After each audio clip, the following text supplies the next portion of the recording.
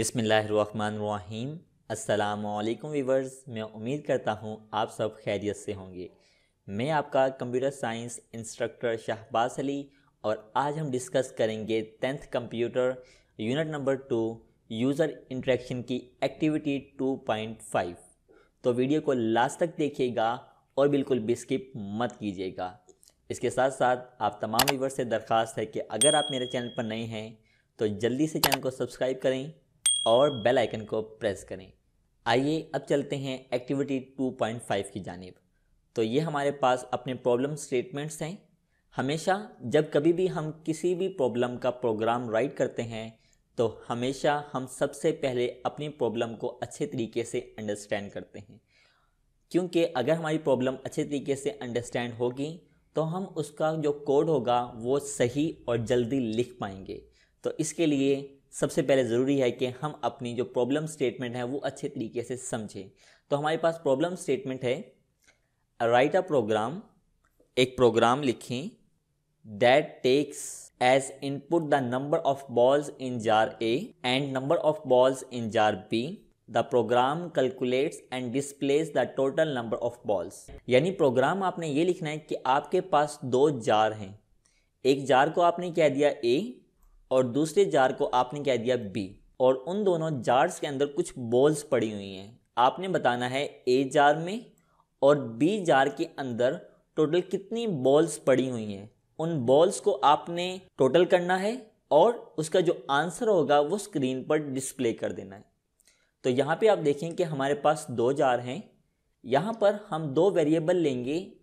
एक हमारे पास वेरिएबल ए होगा और दूसरा वेरिएबल हमारे पास बी होगा। इन दोनों वेरिएबल्स की जो वैल्यू होगी, यानी नंबर ऑफ़ बॉल्स होंगी, उनको जमा करने के लिए हम एक तीसरा वेरिएबल ले लेते हैं जो कि हमारे पास सम का होगा। ए और बी को हम क्या करेंगे? सम करेंगे और जो उसका रिज़ल्ट होगा, वो सम में हम क्या कर देंगे? स्टोर कर देंगे। तो हम टोटल यहाँ पे तीन वेरिएबल लेंगे और डेटा टाइप हम इंट लेंगे। आइए अपने आई e की तरफ़ चलते हैं और इसका कोड राइट करते हैं। तो आपके सामने ये आ गया कोड ब्लॉक्स हम इसका कोड लिखते हैं अब। तो हम सबसे पहले कह रहे हैं, हम तीन वेरिएबल्स डिक्लेयर कर रहे हैं इंट डेटा टाइप के अंदर। तो ये हमारे पास इंट आ गया। ए हमने डिक्लेयर कर दिया जार ए के लिए बी हमने डिक्लेयर कर दिया जार बी के लिए, और यहाँ पे हमने एक सम का वेरिएबल ले लिया जिसमें हम ए और बी का जो रिज़ल्ट होगा, वो स्टोर करेंगे। हम इसको कहते हैं कि जार ए में दो नंबर ऑफ़ बॉल्स हैं, वो यूज़र से इनपुट लें। तो हमने यहाँ पे मैसेज दिखाया printf enter number of balls in jar A यानी ए जार के अंदर जितने भी बॉल्स हैं, हम यूज़र से कह रहे हैं, वो इनपुट करें। और जो यूज़र यहाँ पे इनपुट करेगा, उसको हम स्कैन एफ़ फ़ंक्शन की मदद से यहाँ पर स्टोर कर देते हैं। सबसे पहले हम फॉर्मेट स्पेसिफायर लगाएँगे, क्योंकि आप देख सकते हैं कि हम डेटा टाइप इंट यूज़ कर रहे हैं। तो इन डेटा टाइप के लिए फॉर्मेट स्पेसिफायर हमारे पास परसेंटेज डी होगा।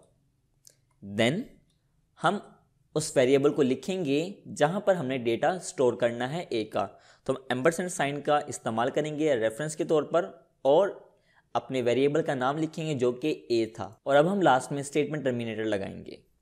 देन हमने ये नंबर ऑफ़ बॉल्स इंटर कर दिया है जार ए के अंदर। इसी तरह हमने जार बी के लिए दोबारा प्रिंट एफ़ लिखा। मैं यहाँ से कॉपी पेस्ट कर रहा हूँ। यहाँ पे मैंने लिख दिया जार बी और ए की जगह में यहाँ पे लिख देता हूँ बी अब हमने दो यूज़र से इनपुट ले लिए। एक हमने क्या दिया? जार ए के नाम से और दूसरा जार बी में।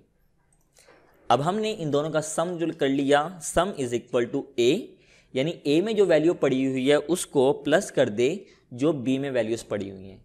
अब हम प्रिंट एफ़ फ़ंक्शन की मदद से अपने जो सम की वैल्यू होगी, वो डिस्प्ले करेंगे।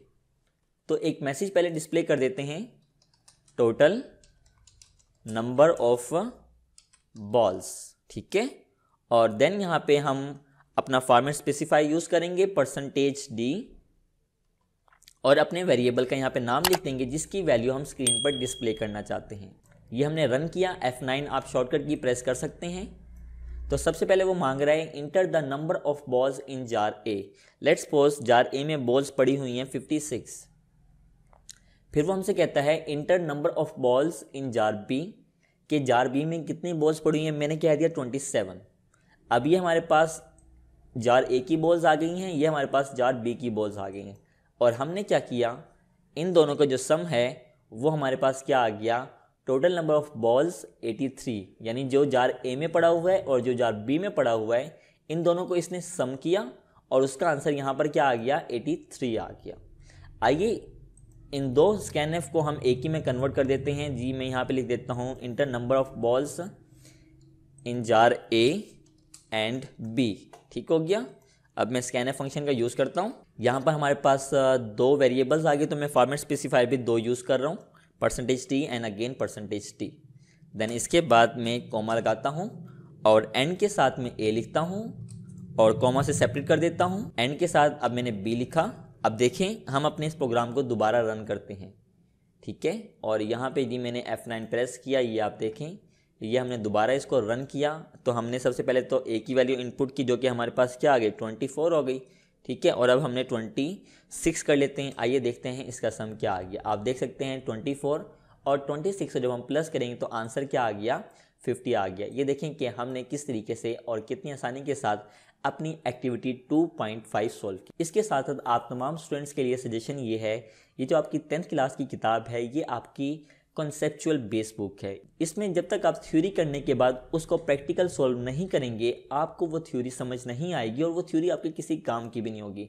अगर आपने प्रैक्टिकल परफॉर्म किया तो आपको थ्योरी याद करना आपके लिए बहुत ज़्यादा आसान हो जाएगा। आप जो भी थ्योरी पढ़ते हैं, उसका जो प्रोग्राम है, वो साथ ही प्रैक्टिस किया करें।